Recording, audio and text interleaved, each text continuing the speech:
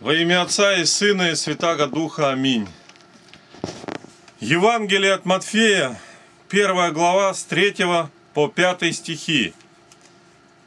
Фарис родил Есрома, Есром родил Арама, Арам родил Аминадава, Аминадав родил Наасона, Наасон родил Салмона, Салмон родил Ваоза от Рахавы. Толкование блаженного Феофилакта. Некоторые думают, что Рахав есть Староав блудница, которая приняла соглядатаев Иисуса Навина и спасла их. Спаслась и сама. Упомянул же о ней евангелист для того, чтобы показать, что как она была блудница, так и все язычники, ибо они блудодействовали своими делами – Впрочем, все язычники, принявшие послов Иисуса, то есть апостолов, и уверовавшие в слова их, спаслись. Комментарий Игнатия Тихоновича Лапкина. Прошла тысяча лет до блаженного Феофилакта, архиепископа болгарского. Многое изменилось в мире и в церкви, но Господь говорит, Иеремия 1.12, «Я бодрствую над словом моим, чтобы оно скоро исполнилось. У Бога всегда на примете люди, преданные Ему, в которых одно желание – жить для Бога, исполнять волю Его, нести святое Слово по миру неискаженным. Даниила 9.23 В начале моления Твоего вышло Слово, и я пришел возвестить его Тебе – ибо ты муж желаний. Итак, вникни в слово и уразумей видение. Таким мужем желаний оказался блаженный Феофилакт, который всею жизнью своей подтвердил слова апостола Павла, филиппийцам 1.21. «Ибо для меня жизнь – Христос, и смерть – приобретение». В предисловии к толкованиям сказано, на какое разорение – он прибыл в Болгарию. Какой темный невежественный народ оказался над, под его окормлением. И какие безумные ереси того времени отравляли сознание людей. Исайя 49.8. Так говорит Господь. Во время благоприятное я услышал тебя, и в день спасения помог тебе. И я буду охранять тебя и сделаю тебя заветом народа, чтобы восстановить землю, чтобы возвратить наследникам наследие опустошенные. Его толкование Священного Писания для миллионов людей стали воистину заветом любви к Слову Божию. Блаженный Феофилакт с абсолютной точностью на протяжении толкования всего Нового Завета подчеркивает, высвечивает роль проповеди апостолов. Он проникнут апостольским духом благовестия, непрерывная проповедь, научение, истолкование, все то, что приводит к жизни во Христе, к жизни по Евангелию. Кто из пастырей сегодня понимает это, ибо всюду проповедь подменена ритуалом и обрядом. А от этого никто не возрождается. И остается всюду та же египетская тьма, обман и самообман. Комментарии закончились. Далее. Ваос родил Авида от Руфи. Толкование. Эта Руфь была иноплеменница, однако ж сочеталась с Ваозом. Так и церковь из язычников, хотя была иноплеменницей и вне заветов, забыла народ свой – и почитание идолов и отца своего дьявола, и обручилась единородным Сыном Божиим. Все толкование на эти стихи. Далее.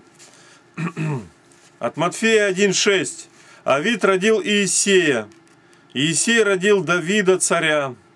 Давид царь родил Соломона, отбывший за Уриею. Толкование. И о жене Урииной упоминает евангелист, дабы показать, что не должно стыдиться предков, но наипаче стараться и их прославлять своей добродетелю. И что Богу все угодны, хотя бы произошли и от блудницы, только бы были добродетельны.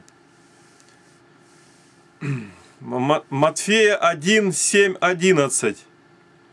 Соломон родил Раваама, Раваам родил Авию, Авия родил Асу, Аса родил Иосафата, Иосафат родил Иорама, Иорам родил Озию, Озия родил Иоафама, Иоафам родил Ахаза, Ахаз родил Езекию, Езекия родил Манасию, Манасия родил Амона, Амон родил Иосию, Иосия родил Иоакима, Иоаким родил Иоханию и братьев его перед переселением в Вавилон.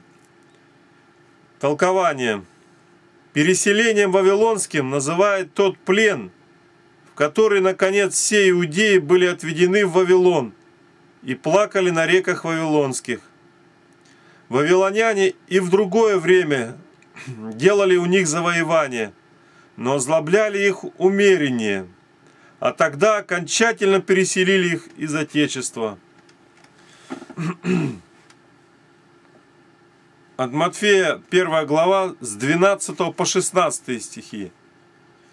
По переселении же Вавилон Иехания родил Салафииля, Салафиил родил Зарававеля, Зарававель родил Авиуда, Авиуд родил Елиакима, Елиаким родил Азора, Азор родил Садока, Садок родил Ахима, Ахим родил Елиуда, Елиуд родил Елиазара, Елиазар родил Матфана, Матфан родил Иакова, Иаков родил Иосифа, мужа Марии, от которой родился Иисус, называемый Христос – Толкование. Почему евангелист представляет родословие Иосифа, а не Богородицы? Какое участие имел Иосиф в бессеменном рождении? Иосиф не был истинный Отец Христов, чтобы от него вести родословие Христа. Слушай, правда, что Иосиф не имел никакого участия в рождении Христа, и потому следовало бы представить родословие Богородицы. Но так как закон запрещал вести родословие по женской линии, то евангелист и не представил родословие Девы.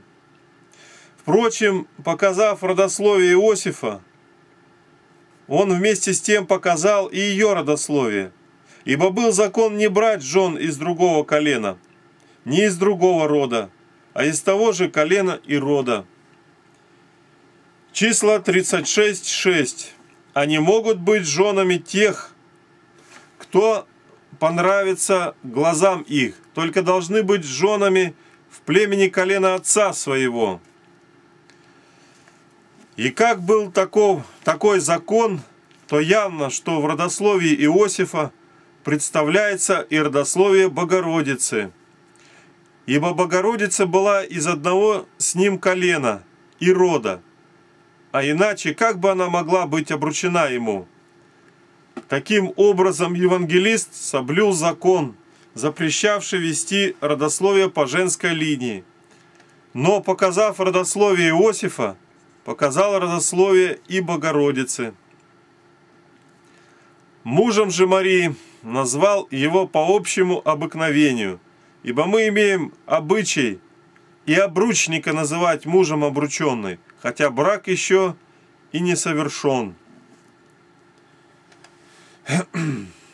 От Матфея 1.17. Итак, всех родов от Авраама до Давида 14 родов. И от Давида до переселения в Вавилон 14 родов.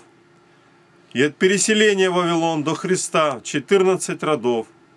Толкование – Евангелист разделил роды на три части, дабы показать иудеям, что они и под управлением судей до Давида, и под управлением царей до переселения, и под управлением первосвященников до Христа равно немало не успевали в добродетели, и потому имели нужду в истинном судьи, царе и первосвященнике, который есть Христос, ибо Христос по пророчеству Иакова пришел по прекращении царей.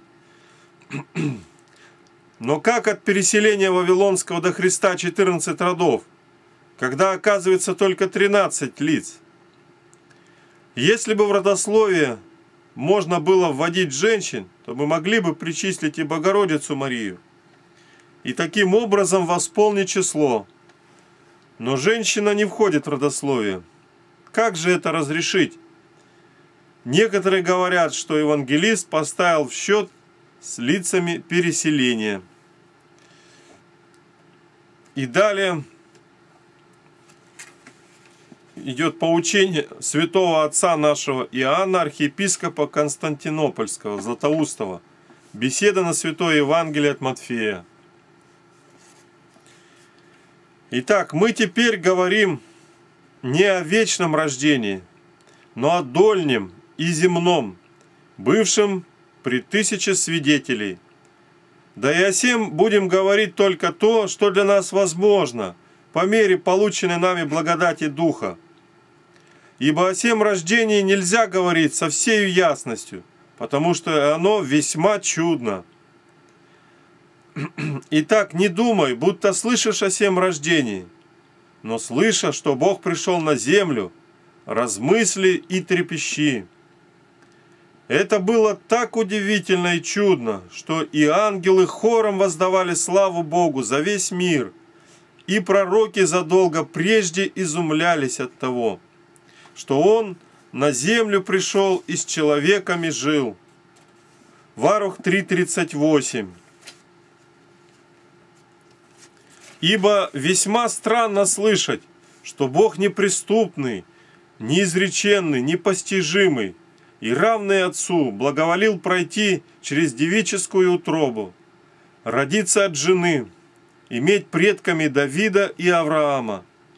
И что говорю Давида и Авраама? Даже что еще удивительнее, тех жен блудниц, о которых мы недавно упоминали. Слыша сие, не представляй себе ничего низкого. Напротив, тем больше дивись, что сын безначального отца, сын истинный, благоволил называться сыном Давидовым, дабы тебя соделать сыном Божиим. Благоволил иметь отцом своим раба, дабы для тебя, раба, сделать отцом Господа. Видишь ли в самом деле, каковы Евангелия? Когда ты слышишь, что Сын Божий есть Сын Давидов и Авраамов, то уже не сомневайся, что и ты, сын Адамов, будешь Сыном Божиим. Ибо Он не стал бы напрасно и попусту так уничижать себя, если бы не хотел нас возвысить. Он родился по плоти, дабы ты родился духом, ибо тем, что родился от жены, Он уподобился нам – а тем, что родился не от крови, не от хотения плоти, не от хотения мужа, Иоанн 1.13, но от Святого Духа, предвещает о высшем и будущем рождении, которое намерен даровать нам от Духа. Таково же было и все прочее. Таково было и крещение. Оно имело нечто ветхое и нечто новое – Ибо принять крещение от пророка показывает нечто ветхое, а что сходит дух, показывает нечто новое. Представь, что кто-нибудь, став между двумя человеками, стоящими друг от друга в отдалении, протянул к ним руки, одну к тому, другую к другому, и соединил обоих. Так поступил Христос, Сын Божий – соединяя Ветхий Завет с Новым, божественное естество с человеческим, свое с нашим, небесное с земным.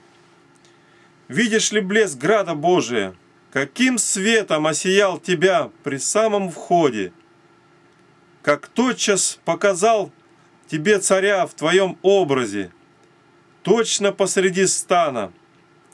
Ибо в стане царь не всегда является в собственном величии, но часто, сложив парфиру и диадему, облекается в одежду воина. Впрочем, земной царь так поступает для того, чтобы, став известным, не привлечь себе неприятелей. А Царь Небесный, напротив, для того, чтобы, сделавшись известным, не заставить врага бежать прежде сражения с собою и не привести в смятение своих, ибо он старается спасать, а не страшить. Посему и назван сим именем Иисус, ибо имя Иисус есть не греческое, а еврейское – на греческом языке означает оно «спаситель». А спасителем он называется потому, что спас народ свой. Но если бы евангелист представил родословие девы, то его почли бы нововводителем. Посему, дабы мы знали, что была Мария, кто была Мария и откуда происходила – и дабы в то же время не был нарушен обычай, он представил родословие ее обручника и показал, что он происходит из дома Давидова. Ибо когда это доказано, тогда в то же время доказано, что и дева была из того же рода. Не случалось ли тебе видеть, что из телесных глаз, когда они долго побудут в дыму, текут слезы, а на свежем воздухе, на лугах, при источниках и в садах они делаются острее и здоровее. То же бывает и зрением душевным. Если оно обращено на луг духовных писаний, то делается чистым, ясным и проницательным.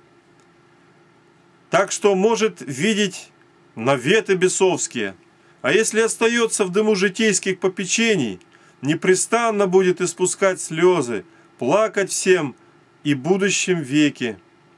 Ибо дела человеческие подобны дыму, и ничто не причиняет столько болезни душевному зрению и не мутит его, как множество житейских попечений и пожеланий.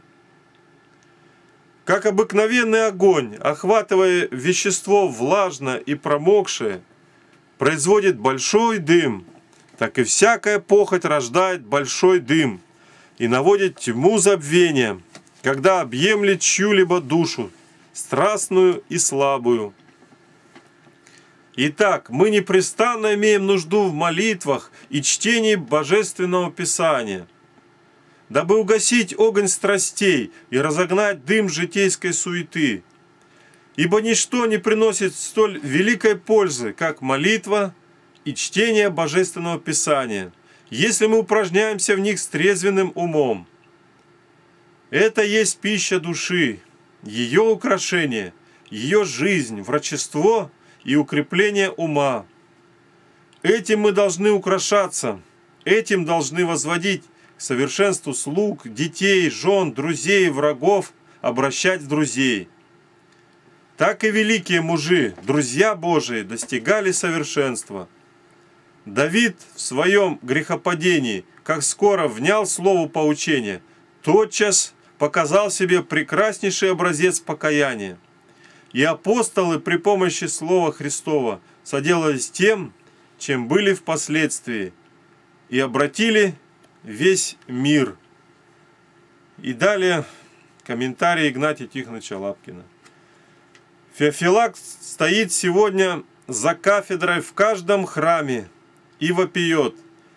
Итак, мы непрестанно имеем нужду в молитвах и чтении Божественного Писания, дабы угасить огонь страстей и разогнать дым житейской суеты, ибо ничто не приносит столь великой пользы, как молитва и чтение Божественного Писания, если мы упражняемся в них с трезвенным умом. Кто услышит его, Вожди ослепшие, к вам это слово. Комментарии закончились. И далее поучение Златоуста. Но какая, скажешь, польза, когда иной слушает, но не исполняет того, что слышит. Немалая польза будет и от одного слышания.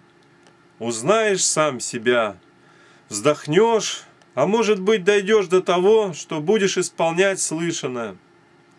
А кто не знает и того, что он, что он согрешил, может ли перестать грешить?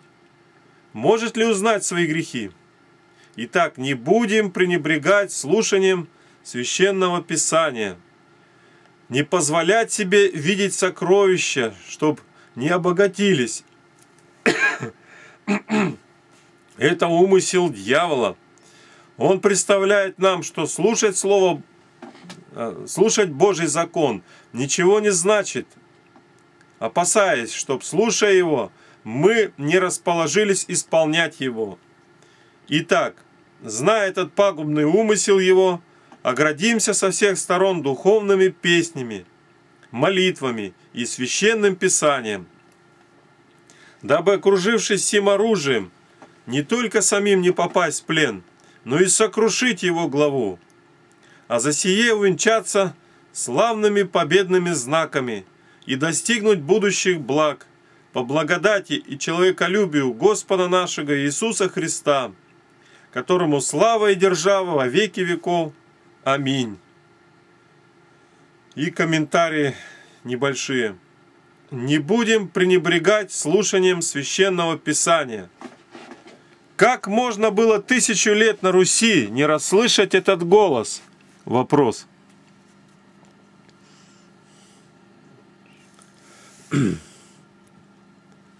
От Матфея 1.18. Читай, не смотри на меня. Рождество Иисуса Христа было так. Толкование. Сперва изобразил родословие и, желая покрыть сию тайну, упомянул о муже Марии Иосифе. По обручении матери его Марии с Иосифом, прежде нежели сочетались они, оказалось, что она имеет в чреве Духа Святаго. Толкование блаженного Феофилакта. Не сказал прежде, нежели приведена была в дом к жениху, ибо она уже жила у него в доме, так как древние имели обыкновение охранять обрученных в собственном доме, чему и ныне еще можно видеть примеры. Так и зятья Лотовы по обручению жили вместе с ним в его доме, так и Мария жила в одном доме с Иосифом. Почему не прежде обручения она зачала в чреве? Бог не хотел, чтобы при самом рождении известно было иудеям, что Христос родился от Девы, и чтобы Дева пострадала от них. Впрочем, не смущайтесь, если сказанное мною для вас странно. Я говорю здесь не свои слова, но слова отцов наших, дивных и знаменитых мужей. Если Христос и многое первоначально скрывал, называя себя Сыном Человеческим. Если Он и не везде ясно открывал нам свое равенство со Отцом, то чему дивиться, если Он и сие прикрыл, устрояя дивное великое таинство? Дивно то, что Дева сохранена и избавлена от худого подозрения.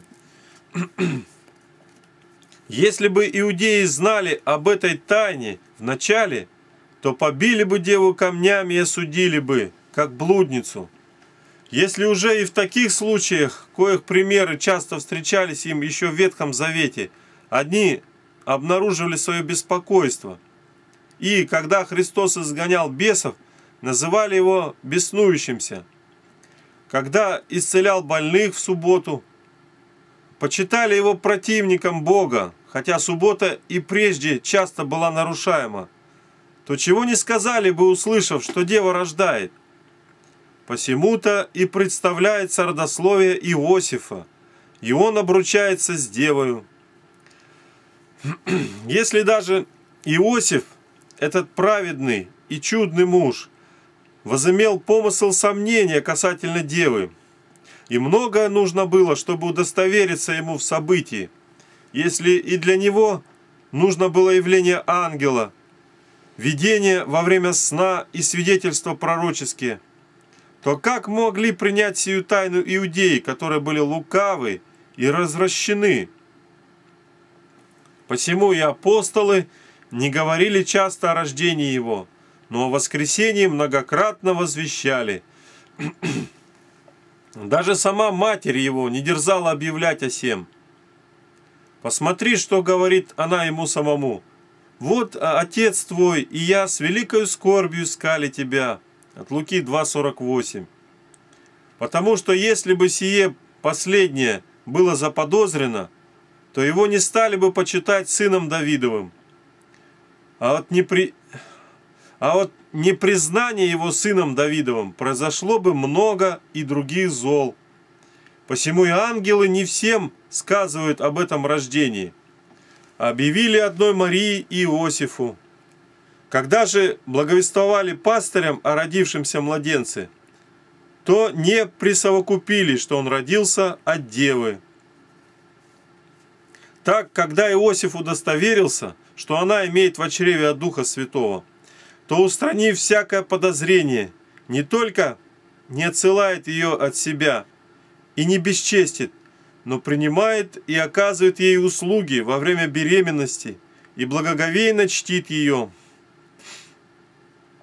Явно, что, не будучи твердо удостоверен в зачатии по действию Святого Духа, не стал бы держать ее у себя и служить ей. От Матфея 1.19. Иосиф же, муж ее, будучи праведен и не желая гласить ее, хотел тайно отпустить ее. Толкование. Здесь он называет праведным того, который имеет все добродетели. Иосиф, будучи праведен, то есть добр, кроток, истинен, хотя подозреваемая не только заслужила обличения, но закон повелевал даже наказать ее. Впрочем, Иосиф избавил ее не только от большего, но и от меньшего, то есть от стыда, не только не хотел наказать, но не захотел и обличить. Не признаешь ли всем мужа мудрого и свободного от мучительной страсти? Вы сами знаете, что такое ревность. Посему-то вполне знавший онную пророк сказал, «Ревность – ярость мужа, и не пощадит он в день мщения». Притчи 6.34. И «Люта, как преисподняя ревность».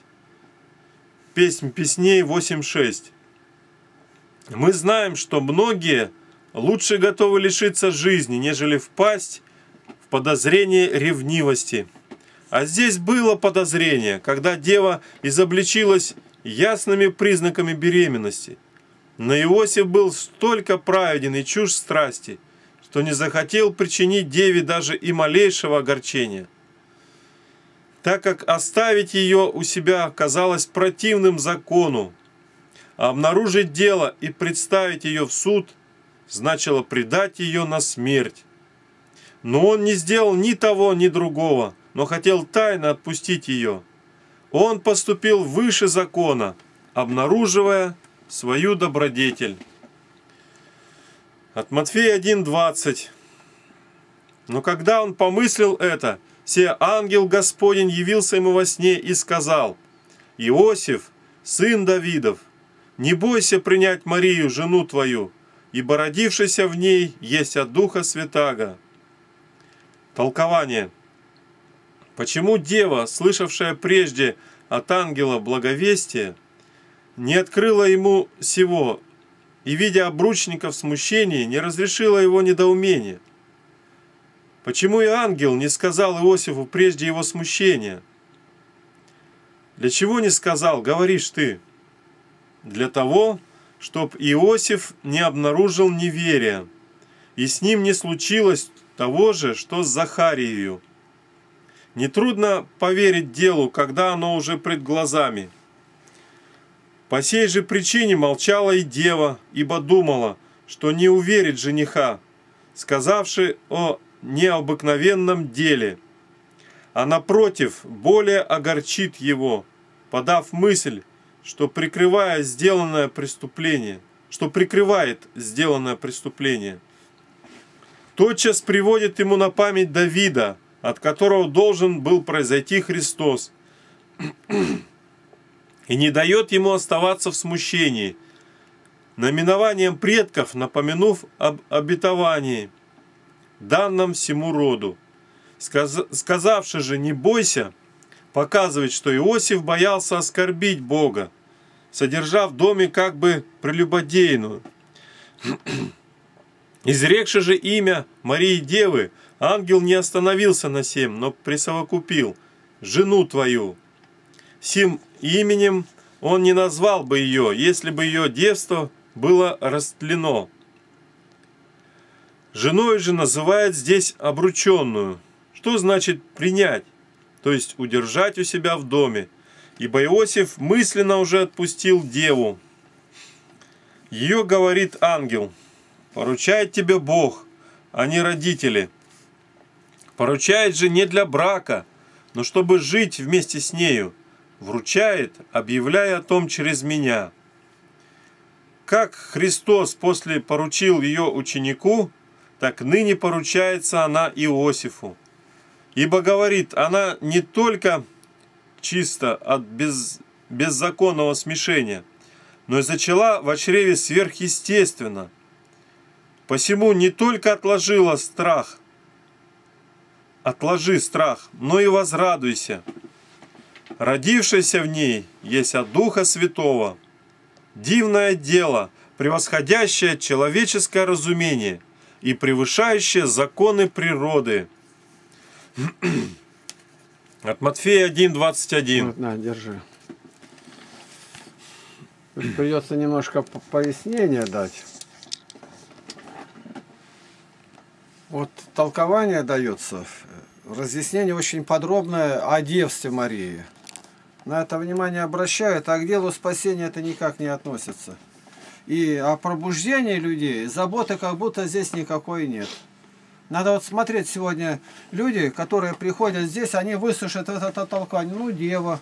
А какое отношение конкретно ко мне имеет?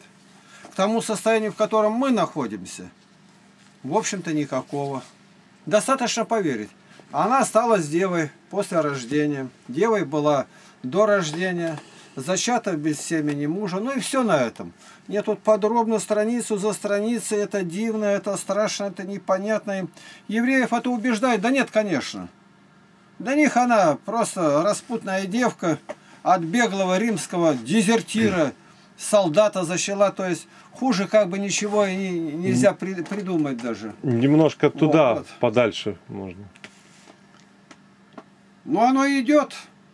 И это толкование главное, вот эти богородичные праздники, все это монахи придумали, Рождество Богородицы, Успение, оно никак не касается спасения. Одно слово, и на этом все.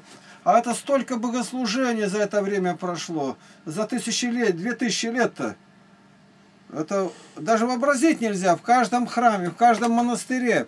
И вот об этом везде все, и храмы во имя Богородицы – но я признаю, и на этом все. Но к спасению относится это или нет. Теперь придумали зачатие Богородицы.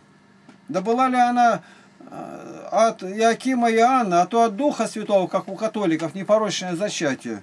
То есть настолько все искривили, настолько пошло не тем путем. Нужно говорить о жертве Христа. О чем говорит апостол Павел. Что вот здесь написано у блаженного Феофилакта, ни один евангелист это не говорит – это у нас трехтомник изданный. 240 иллюстраций, 230 Гюстава Даре. Вот видите, это мы раскрасили его. 230 это полное толкование и 297 еще и комментарий дается. Это очень зримо видно, что э, блаженный Феофилакт, сам будущим монахом, он говорил то, что в то время было распространено и Никакого секрета-то в этом нет. А спасение о том, чтобы люди как уверовали, нет. Тут у нас вчера прошло богослужение. Приходят три отрока, родственники наших по разной степени родства. Три юноши. Вот они пришли. Что у нас? Сегодня 27 сентября 2013 года, пятница. Воздвижение честного же творящего креста. У нас община Крестовоздвиженская, престольный праздник. Ну и Сколько там, кресту твоему поклонимся, опять кресту твоему поклонимся, даже с этой стороны. Вот. И, а кресте-то, о жертве Христовой как будто бы так, намеком только слышали где-то. Ну вот они побыли, постояли, учатся в городе здесь, из Потеряевки они там, из Корчина. Так нужно остаться, даже объявление сделать, что сегодня я буду разъяснять, будет беседа. Их не остановишь. Они как из пушки, из катапульпу вылетели во двор и уже обратно бегут в свое общежитие. Живут в общежитии там или у знакомых где-то. То есть им это не надо, они ни жизнью общиной не живут, ни своей душой не занимаются. Но они пришли, отстояли, хлебец этот политый вином дали, съели. И что, священник этим должен довольствоваться только? Я их пытаюсь остановить? Никак. Я пошел скорее священнику, пока они во дворе между собой гуртуются. Я говорю, ты задержи их, а что я буду задерживать-то? Ну ладно, они ушли. Я пошел после этого к батюшке и стали говорить. Я говорю, ты почему не заботишься-то о них-то? Какой-то путь надо найти к ним. Через родителей действия. На одного еще можно действовать, а у другого родители никаким авторитетом не пользуются, ни отец, ни мать им. А они двое здесь в городе. Это потерянное поколение. Они не избранные, у них жажды нету к исследованию Слова Божия, жизни общины. Жить свято, на лице прямо грех играет, видно, грех мира сего. Всякие мысли колобродят, я только в интернете гляжу, где они иной раз выходят, и говорят, только взахаешься. Это из верующей семьи, погиб мир. А каким образом подойти, не знаю. А что советуешь? Молиться. Молиться, чтобы Бог открыл эту дорогу. Как им это рассказать? Ну и буду им рассказывать о Богородице, даже ну, пусть все это правильно, так оно и есть. Но это ни на шаг, ни на миллиметр не подвигает к тому, чтобы душа пробудилась. Нужно получить духовное рождение. И вот об этом ему надо толковать. Осознание греховности, чтобы он наложил пост на себя, молитву и приблизился к той стадии, что я хочу узнать больше, искать. Я, вот, у меня поиск был очень большой, я в армии служил везде, там удалялся помолиться э, по две-три строчки о божественном, и уже надо найти это. И никакой жажды нету совершенно они. Стоят они нормально, они не хулиганят, ничего, нормально. Но это нормальные погибшие люди. Таких очень много в аду будет. И они бы еще пришли, но так как я их останавливать пытался, они теперь уже вряд ли придут скоро. Так уж по нужде, когда сумку какую из дома привезут там продуктов, тогда еще заглянут сюда, к нам молочники заезжают. Вот и все. Так это те люди, которых мы знаем, которые крещеные здесь в общине, которые ну, должны бы интересоваться. Нет, я все это отношу к неизбранию. Нет избранничества и нет тяги. Ни одного вопроса, никакого нету. А что бы ни спросил, не знает. Ну, живут в общежитии, молитвы нету навыка никакого нет к молитве совершенно. А вот это стояние, прибежали они вчера, отстояли службу, пошли, ну удовольствие этим. Нервы вырастают. Любая там мирская вертихвостка, она его увлечет куда хочет. Потому что, ну он этим живет, телевидение в этом везде смотрит, что в интернете показывает-то. Бога он не знает и знать не желает, но посчитается верующим. А когда спросишь, верующие или дети, ну как, они в храм ходят, да я не спрашиваю, куда ноги шагают. Ответить-то не могут. Но вот они, как вы считаете, верующие? А когда уже вырастут? Но он мне не запрещает в храм ходить. Она уже состарилась. Это считается за веру. Он не запрещает. Вот. И сын-то неплохой, выучился там политологом, стал или экономистом. То есть совершенно бесполезные какие-то знания. Они никому не нужны. Да иди на токаря. Иди на агронома выращивая зерно, иди на ветеринара. Ничего этого нету. Даже в избрании специальности они никакие. И им никто не поможет. Они на своем стоят. Они упрямые, упрямые, как ослы. И что я могу сказать? Вот и сектанты, какие бы дети не были, они не такие. Вот у меня в лагере э, был один э, мальчик, Юра, фамилия такая еще, не русская, Бодю. Наши лагеря все играют где-то, бегают-то. А он как что, так опять открывает Библию. Он один такой. А почему? Потому что в семье у них Библия, там новая жизнь называется секта. Я не об этом сейчас, а о том, что Слово Божие, оно преображает жизнь. В православии нет слова Божия авторитету. Нету совершенно. Они не знают люди. Где бы ни заговорила, а что сегодня? С праздником, с праздником. Даже. Почему столько нищих попрошаек у православных только, у баптистских там молитвенных домов их нету? Почему? Да потому что они внутри, которые были бедные, их обиходили, они накормили, напоили их. Им дали в руку Библию. Их научили работать. Здесь ничему не, не учат. Копеечку бросил, все. Идет священник, тоже бросил пьяницам, прощелыгам, лодырям, тунеядцам. Всем подают, всех кормят. Бог разберет, да. Что разберет, когда он уже в аду горит? Они живут все до одного в блуде, в воровстве, в пьянстве. У нас ничего этого нет, того, что способствовало бы э, спасению души. Вот мы насчитываем сейчас, просили Новый Завет с толкованием Блаженного Феофилакта, и э, я скажу, что это просили-то как раз мало кто православные, нам знакомые, а в основном это протестанты. Вы дайте нам это толкование, сейчас привыкли смотреть, ну, в записи это было, не в аудио, а в видео. Ну вот мы сегодня оказались в Барнауле, на престольный праздник приехали. Душа моя истомилась. Я 50 лет, как уверовал в Бога, получил рождение свыше и крещение Духом Святым. Бог возжег огонь в моем сердце. Я оборачиваюсь назад, я скажу, это невозможно было бы, если бы я не попал пятидесятникам, на их, они баптисты соединены были с пятидесятниками, в городе Вивенсполсе 50 лет назад. Православные мне этого дать не могли. И я 50 лет гонимый православными за Слово Божие. Хотя все, все православно исполняем, и посты, Слово Божие не пользуется авторитетом, а я все на нем основываю. Слово Божие, оно пророческий дух имеет, оно обличает. Православия это ничего нету. Все покрыто ложью, лицемерием, этой торговлей, сребролюбием этим. Ну, совершенно не евангельский путь, как религия смерти. Вот приходит человек, отстоял, ушел, больше ничего не надо. Никто не заботится о том, чтобы быть Вадимом Духом Божиим чтобы э, слышать обличение от Духа Божия. Совершенно нет этого. Ну, батюшке идти на исповедь. На священника сотни людей, если бывает город большой, кого он исповедует-то? Сам себя человек не может даже исследовать. Исследуйте самих себя, верили вы, Павел говорит. Я говорю, что если бы у сектантов было рукоположение, я бы дня в православии не был. Конечно, не в какие-то секты пошел бы другие, а самое близкое это баптисты, которые были инициативники отделенные. В православии не за что засыпиться. Вот единственное, что рукоположенное священство, здесь есть таинство. Почему я здесь и нахожусь? И здесь, в невыносимых условиях, я должен трудиться. Среди гонений, поношений, презрений, клевет от православных. Вот нашей миссионерской деятельности никто так не мешает, как лютые волки, не щадящие стадо. Законно рукоположенные священники и епископы.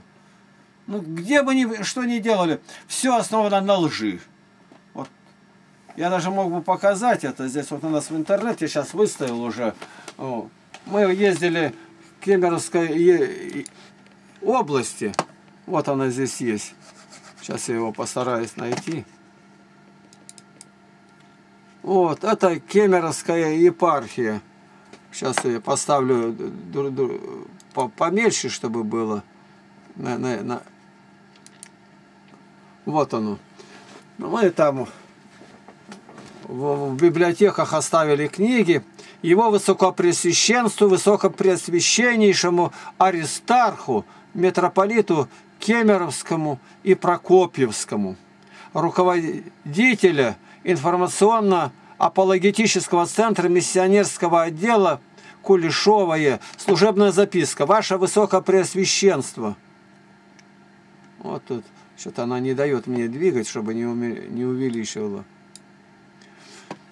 А, информационно, в информационно-апологетический центр поступили сообщения от верующих жителей города Прокопьевска, города Кемера и города Юрги об объявлениях на улицах города с предложением приобрести 38 книг приложения некоего православного проповедника Игнатия Тихоновича Лапкина – Книги Игнатия Лапкина уже стали появляться в некоторых библиотеках. Вот первая служебная записка. В первую очередь никто никогда не сообщит в какой-то информационно-апологетический центр, да никто этого не знает. Даже не каждый священник знает. От верующих Прокопьевска. Об объявлениях на улицах города ни одного объявления не было. Это ложь. Обыкновенная патриаршая ложь. Московская патриархия, основанная Берией и Сталином в 43 году в сентябре. С предложением приобрести. Предложение это купить. То есть они не понимают, что я дарю. Вот за два года мы подарили на 7 миллионов 150 тысяч. Пройдено нами 444 города дальнего ближнего зарубежья. Начиная тут дальше Германия, Австрия и до Владивостока находки. Мы дарим, дарим.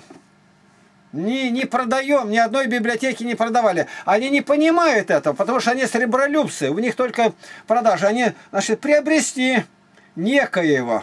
Значит, книги стали появляться. Да они гоняются за мною, как говорится, за дохлой блохою, за мертвым псом, как Давид говорил.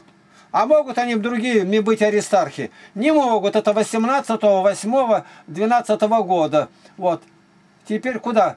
Ну и послать надо местному алтайскому Максиму Дмитрию епископу, чтобы он разобрался. А мы к ним не принадлежим. Теперь они заходят в интернет, является Игнатий Староста Свято-Анфимовской церкви поселка Потеряев Калтайского края. Да не являюсь, я ни одного дня не был. Я житель Барнаула, я староста крестовоздвиженского общества. Ну, ни одного слова нету истинного. То есть, ну, можно же узнать-то, ну, зайди в интернете, все данные о нас, а им это не надо. Это дети, водимые духом лжи. Вот, говорит, вошел в уста их, но он не выходит оттуда. Вот. Позиционирует себя представителем русской православия. Зачем позиционировать? Я там нахожусь, это община образована здесь. У Игнатия имеется свой собственный сайт, где он размещает свои собственные произведения. Использует тот же сайт, что и сайт Уфимской, Томской православной центров по борьбе сект. Вот тот же сект. Какой? К истине с разделом .ру. Да когда К отделено, еще тоже сайт. Но никакого отношения к этому сайту не имеет. Я про него даже не знал. И слово «к истине» у меня вместе «к истине». Он впереди сам же показывает, что у меня есть сайт. Вот он впереди. «К истине один народ.ру». А здесь, да нет ничего этого. Тем более слово «к истине» я первый употребил его. А когда э, сервер наш исчез, по каким-то причинам. Я зашел, там уже 5 или 6 слов к истине, но под разными вариантами, даже у Андрея Кураева-то. Ну, ни одного слова читаю подряд, ничего нету. Я утверждаю, Игнатий утверждает в своих трудах. Что утверждает? С чем они не согласны? Что почитание мощей в церковной практике есть война против Слова Божия. Открытым оком книги у меня, том 1, страница 190. А как не? А что тогда это такое почитание мощей? Это самое натуральное сегодня выраженное трупопоклонство. Расчленяют, выкапывают. Оставьте мертвецам хоронить мертвецов, Господь говорит. Он не сказал, оставьте мертвецам выкапывать мертвецов. Даже как будто Бог до этого не додумался. Да, я говорю об этом. Второе. Лапкин утверждает, что православная церковь почти тысячу лет ошибалась, используя в таинстве Евхаристии квасной хлеб и упорствует в своем заблуждении до сих пор. Это я. По мнению Лапкина, согласно Библии, должны быть опресноки. И католики в этом разногласии с православными совершенно правы. То есть, да, действительно, мои слова. Том 3, страница 226. Да дни опресноков были. Причем тут Лапкин-то? Евреи смертью карали того, кто будет квасное есть. Мы все повинны смерти. Но я православный, я принимаю причастие как есть. Но у меня голова-то есть. И Слово Божье я сравниваю, третье, обвинение против меня. У Лапкина священное писание выше священного предания. Это у Лапкина. А у них оно не выше. Когда Господь будет судить нас по Слову Божию. По Библии, а не по преданиям. Я говорю, Библия, мы знаем, вначале было слово, В буква первая, и последняя, аминь, мягкий знак. Все, ни одной буквы не прибавь, не убавь. Покажите мне предание, священное предание. Какой буквой начинается и какой заканчивается? Ни один человек во всей вселенной этого показать не может. Никто. Потому что к преданию добавляют и Серафима, и Сергия Радонежского, и Иоанна Кронштадтского, и чего только нету. Дальше. Конечно, выше. Четвертое. Лапкин в своих проповедях негативно высказывается в адрес Русской Православной Церкви. Тут они много нащипали. Но это не все. Негативно. Что значит негативно? Вы должны сказать, правду или неправду говорит. Это дети Ахава. Он Иосафату говорит, да не люблю я пророка Михея. Он обо мне не говорит хорошо. А что у вас можно говорить хорошо? Что погубили Россию, погубили династию царя. Это все попы делали. Это они своей цензурой душили и душили и душили. Все эти войны, какие были по благословению их, захват Финляндии, сколько Польша претерпела. Нахватали и подавились этими кибитками-тюбетейками. Сегодня не знают, что делать с этой Чечней и с другими. А мы там были. Мы видели это все. Наша вина православных безмерная, как океан. И нам нужно у всех просить прощения, и у грузин, и всех, кто с нами рядом, кого нету, кто ушел от нас. Подобное высказывание содержится на сайте Игнатия Лапкина имеется информация о том, что необходимо заранее уведомлять администрацию поселка Потеряевка и лично Игнатия Лапкина о своем приезде, так как без разрешения администрации паломников не пустят в это поселение. В первую очередь, паломников никаких нету. Во-вторых, меня никто не уведомляет. Ложь, сплошная брехня. Как говорится, собака брешет. И это кто? Это до Аристарха. Это информационный центр Кемеровской епархии. Вот я бы, если подал в них суд, они ни по одной строчке не выиграют. Они мой авторитет подрывают. А мне не нужно. Я знаю, говорят, собака брешет, а караван идет. Они ничего не сделают. И не знают. Мы 56 сел прошли из дома в дом. Иногда приезжали по 46 человек, как Коробейникова. Занося Евангелие в каждый дом. А кто приходит, дарим Новый Завет. За два года мы подарили, подарили, подарили 30 тысяч Евангелий, а они ни одного. Большая деревня, село, тысячу человек, шесть человек ходят в храм. А с монахами в храме служат семь человек, прокуренные. Ставят там, э, Романа недавно поставили, викарным епископом. Это все игра. О моем приезде паломники, во-первых, паломников, я говорю, нету, а потом я живу в Барнауле, я в Барнауле прописан, здесь и живу, летом бываю только с детским лагерем. Зачем это нужно? В правилах поведения в уставе жители поселка Потеряевка Мамонтского района Алтайского края написано, категорически запрещает сообщение с миром, а обращение за помощью к неверующим по возможности нужно сводить до минимума. Ну и как? А разве не об этом говорит Священное Писание? Мир прелюбодейный и грешный до минимума сводить. Общение прихожан Свято-Афиновской церкви поселка Потеряевка больше напоминает адептов тоталитарной секты. Игнатий Лапкин стоит выше всех и пользуется большим авторитетом, большим, чем настоятель прихода протерея Ким Лапкин, младший брат Игнатия Лапкина. Ни одного слова нет истинного. Ни одного. Напоминает адептов. Кого напоминает? Каких адептов? Какой тоталитарный? Они ни одного слова не могут ответить. А вот у них что это напоминает? Вот совершенно закупоренные монастыри, это да. Это самая настоящая тоталитарная секта. Ни права передвижения, ни права владения имуществом, ничего этого нету. Уставы монастырей гласят никакой переписки, ни передач, ничего нельзя. Вот тоталитарное это где? Дальше. Вышеперечисленное больше напоминает жизнь сектантов в поселениях известных сект отечественного происхождения. Белое Братство, Богородичный центр, Церковь Последнего Завета Виссариона, родовые поселения Анастасия, Звенящие кедры и другие. То есть все, что знал, собрал. Да они друг на друга не похожи. Белое Братство и Церковь Последнего Завета Виссариона. Что между ними общего-то? И они были, видели, нет. Ну хорошо, давайте так. Напоминает, но ответ Секта. Хорошо, секта, звенящие кедры.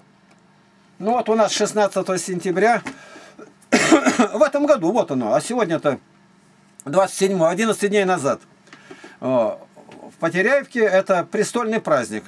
Четыре священника, приехали три, служат четыре. Три из Московской патриархии, или их четыре было? Четверо. Четверо по благословению э, Иванникова, этого местного епископа, а перед этим с нами приезжал, сослужил епископ э, Максим Дмитриев. В мае. А? В мае месяце. В мае месяце в этом году. И что, служат с сектантами? А если они, мы сектанты, а они с нами служат, не переставая удивляться, как много сделано, как много пользы можно взять. Если так, то согласно канонов правил, их надо всех отлучать. На одном этом слове только их всех можно сегодня как за шкирку брать и к священным правилам и всех исключать. Ничего нету. Почему это нет? Они говорят и делают. Они не могут по-другому быть. Они не могут. Дух лжи полностью занял все сердце. И тогда епископ приезжает, 11 семинаристов местных привозит, секретарь епархии. Это все они служат сектантами. И все это выставлено в интернете. Никакого конца предела нету безбожия. А почему? Сталинско-бериевская закваска. А почему мы им не подчиняемся? А зачем это нужно? А поминайте патриарха. Не были у нас, поминали на богослужении патриарха. Я не поминаю патриарха, что ему? Вход Царства Небесное закрыт. Мы поминаем Илариона. И достаточно для нас. И они вот не могут в связи с этим, прошу вас, обратиться в Барнаульскую Алтайскую епархию с просьбой дать официальный ответ о принадлежности Игнатия Тихоновича Лапкина, старосты Свято-Анфимовской церкви, Потеряевка, так, к русской православной церкви Московского патриархата. Значит, если московский патриархат я принадлежу, значит, им для чего это нужно? Чтобы отвернуть мне голову. Законно подослать киллеров. Законно отлучить от церкви. Вот только что. И дальше. А также издает ли он свою литературу по благословению правящего архиерея? Если издает по благословению, значит архиерею тот же мешок. Они по-другому не могут. Им нужно властям доказать, враг народа, все, кто сидели при советской власти, они от всех отреклись. И такого в истории мира не было, чтобы мученики, исповедники признавались врагами церкви. Эти сведения требуются для составления официального письма для директоров и заведующих фондами библиотек, для благочиния Кемеровской и Прокопьевской метрополии. Значит, для чего это нужно? Для библиотек. А кто их там ставил? Никто. Они библиотеки, воинские части, школы, преподавание везде лезут. И в данном случае, в данном случае, вот, э, Глеб Александрович прав. Он прав, когда борется с этим. Зачем они туда лезут? Я в библиотеках не, неоднократно говорил, скажите, вот вы сейчас сказали, у нас тут заключен договор вот, э, со священниками, и они вот как бы здесь ну, сотрудничаем, они проверяют, какие книги должны быть, нет. Я говорю, все полки наполнены, Гарри, Гарри Поттер, там стоит и, и Блаватская, что только там нет, саентология, это разрешено. Сказки, всякие выдумки. Здесь глаза он не видал книги, он решает, нет, Книги эти нельзя. Его никто не ставил цензором. Это нарушение Конституции. То есть они идут на все, на самое подлое. Нарушают. Для них Конституция вообще не существует. Кто их ставил цензором в мирских библиотеках? Никто не ставил.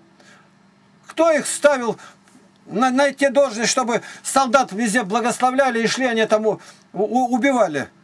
Лезут. Ничего нигде нет, никто не ставил. И они не могут быть другими. Без мирской власти патриархия вообще шага не сделает. Вот отними сейчас от них благоволение властей, чтобы они сами приехали в новый город и сами начинали работать, приобретать души. Они вообще не знают приобретать души. Им нужен храм, храм, храм. А в храме, в храме там уже торговля тогда. Киосков побольше, деньги. Теперь что, машины, ну и все остальное, что требуется. Это вот я на, на утреннее, на Дальше.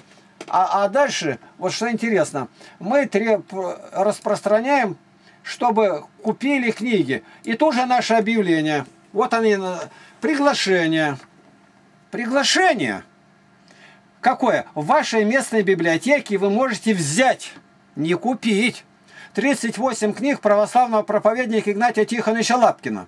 Они в глаза не видали, не считали. Еще ни одного священника и архиерея мы не встретили, который мои книги читал бы, прочитал подряд хотя бы один том. А их 38 книг.